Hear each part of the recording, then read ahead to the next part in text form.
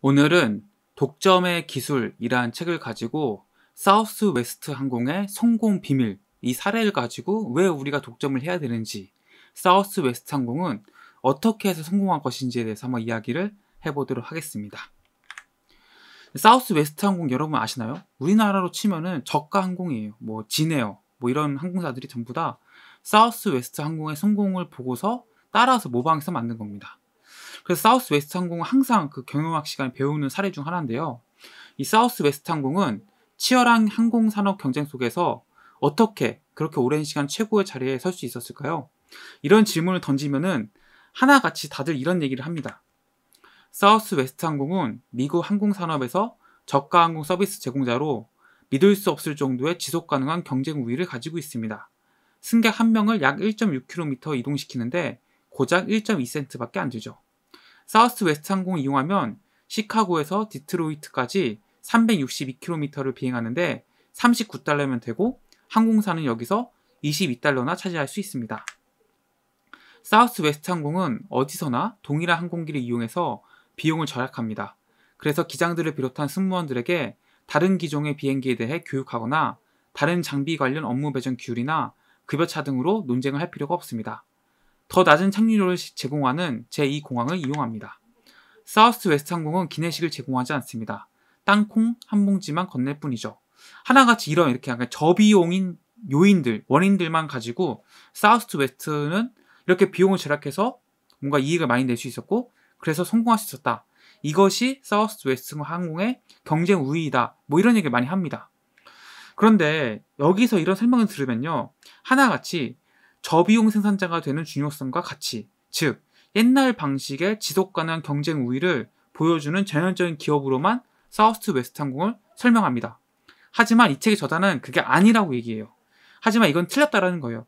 그렇게 사우스 웨스트 항공이 뭔가 땅콩 봉지 뭐 제공해서 똑같은 뭐 비행기 기종을 이용해서 비용을 아꼈다? 이런 것들은 그냥 어떻게 보면 드러난 현상일 뿐이라는 거죠.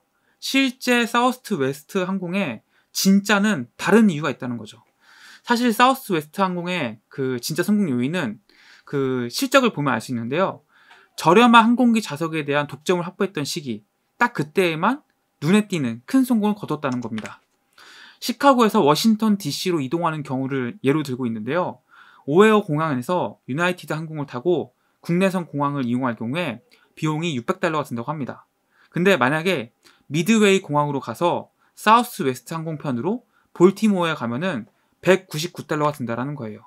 심지어 워싱턴 DC까지 택시를 타고 이동하더라도 199달러이기 때문에 실제 400달러 이상을 사우스 웨스트 항공을 이용하면은 절약할 수 있다는 거죠. 이게 다 택시 비용까지 포함해서 그러다 보니까 그러다 보니까 뭐 예산이 한정적인 여행자 같은 경우에 아니면 학생이라든지 아니면 수입이 고정된 은퇴자들 같은 경우에는 이 사우스 웨스트 항공이 최고의 선택지인 거예요.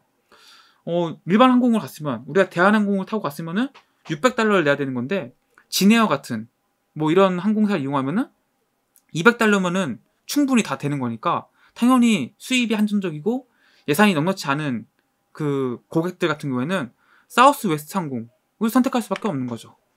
이 이야기를 보면은 사우스 웨스트 항공의 성공 비밀을 알 수 있다는 겁니다.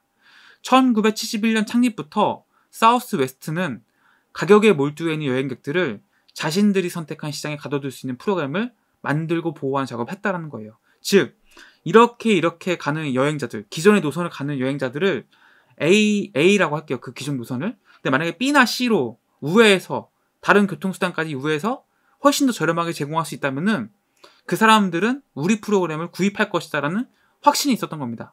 사우스 웨스트의 성공 요인은 바로 이 프로그램 구성이 있다라는 거예요. 여기에 바로 성공 비밀이 있다는 겁니다. 그래서 사우스 웨스트 항공은 자신들이 선택한 시장에 가둬둘 수 있는 프로그램을 만들어서 고객들에게 선보인 거고 예산이 한정된 고객들은 당연히 그 프로그램을 선택할 수밖에 없게끔 만들었기 때문에 사우스 웨스트 항공은 큰 성공을 거둘 수 있었다는 겁니다. 이런 저렴한 좌석에 대한 독점이 바로 사우스 웨스트 항공의 성공 비밀이라는 겁니다. 그래서 뭐 짧은 비행 왕복 시, 소요 시간이라든지 단일 항공기 모델이라든지 땅콩 봉지라든지 이런 것들은 그냥 이런 독점을 개척하는데 그냥 도움을 줬던 거지 절대적인 뭐 필수는 아니라는 겁니다. 사우스 웨스트는 이런 교훈을 실제로 경험을 체감을 하게 되는데요. 유나이티드 항공사가 캘리포니아에서 셔틀 서비스를 시작합니다. 그러니까 이 셔틀 서비스 지금 경쟁을 이제 하게 된 거예요. 그러다 보니까 이제 사우스 웨스트는 아 우리들의 진짜 본질적인 경쟁력 바로 이거구나를 깨닫게 된 건데 수익이 나는 미국 서부 해안 시장에서 그 유나이티드 항공사가 사우스 웨스트 항공편에 끼어들기 시작한 거예요. 그러니까 이제 두 개 회사가 거의 비슷한 가격으로 비슷하게 경쟁을 하기 시작한 겁니다. 2년간 이 치열한 경쟁을 했는데요. 실제로 둘 다 큰 손실을 봤다고 합니다. 그러고 나서 사우스 웨스트가 자신들의 독점을 다시 만들고서야 그 거기서 다시 또 돈을 벌기 시작했다고 말을 하는데요. 결국 이 책의 저자가 얘기하는 건 바로 이겁니다. 저비용 생산자가 되어봤자 지속 가능이나 성공은커녕 수익도 보장되지 않는다는 거예요. 오직 독점으로만 그런 보장을 받을 수 있다라는 겁니다. 독점에 성공한 기업을 보면은 공통점이 있다라는 거예요. 첫째가 가장 중요한 점으로 이들의 성공이 지속 가능한 경쟁 우위 때문은 아니라는 거죠.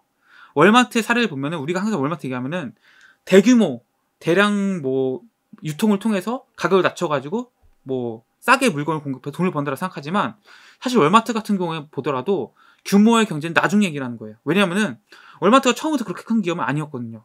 그 진짜 성공 비밀은 어디 있었냐? 진짜 성공 비결은 월마트가 소도시에 진출했다는 거예요. 대의 도시에부터 시작한 게 아니고 소도시부터 진출했고 그 지역을 독점함으로써 거기서부터 이윤을 만들어 나가서 지금과 같은 규모를 갖추게 된 거지 처음부터 지금 말하는 뭐 대규모 유통을 통해서 뭔가 압도적인 뭔가 계약 물량을 통해서 싸게 사고 그걸 통해서 돈을 번다? 이것은 그 후에 붙어진 해석이라는 뿐이, 뿐이라는 거죠. 또 둘째, 대다수는 치열한 산업에 성공했다는 겁니다. 이렇게 독점을 이용해서 그 성공한 기업들을 살펴보면요. 뭐 블루오션이라든지 뭐 새로운 시장을 개척한 것이 아니라요. 치열하게 경쟁하고 있는 그 시장에서 독점 영역을 발견해서 성공했다는 겁니다. 그래서 뭐 우리가 바, 방금 얘기했던 사우스 웨스트 항공사 같은 경우에도 치열한 항공업계의 경쟁이 있었고 이미 지배적인 경쟁자가 있었잖아요. 그런데 불구하고 거기서 나가 성공했던 거죠. 그래서 이 독점 기업들에서 발견된 특징은 치열한 산업에서 성공을 했다라는 거. 세 번째, 독점에 성공한 기업은 반짝으로 끝나지 않는다는 겁니다. 5년, 10년, 30년 넘게 성장한다는 거예요. 실제 사우스 웨스트 같은 경우에도 적자를 기록한 적이 없고 9.11 테러가 났을 때도 적자가 나지 않았다고 합니다. 다른 항공사 적자 났는데. 그러니까 어마어마한 거죠. 이게 단순하게 그때 잠시 동안 아주 짧은 성공을 거둔 것이 아니라는 거예요. 넷째, 독점 기업들은 경쟁 회사들이 입증된 지속 가능한 경쟁 우위를 가지고도 고생을 하거나 사라지기까지 하는 그런 상황에서도 성장을 계속했다라는 겁니다.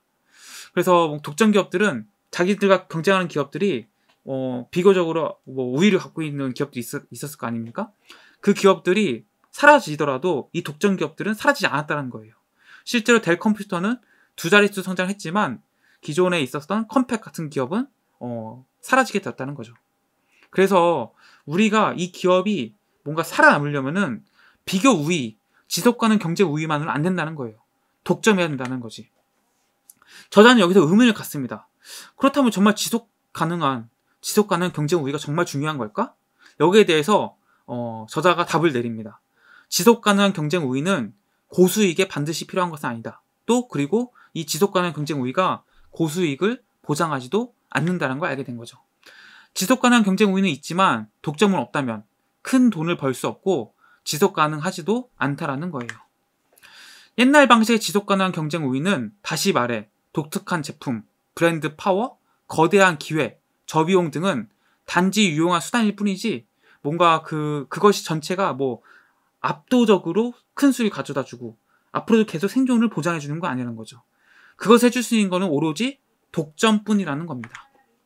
그래서 여기서 이제 사우스 웨스트 항공의 사례 그리고 스타벅스의 사례 이전 영상이죠. 스타벅스 사례에서 이제 이 책의 저자가 독점의 기술 네 번째를 얘기해 줍니다. 네 번째 규칙.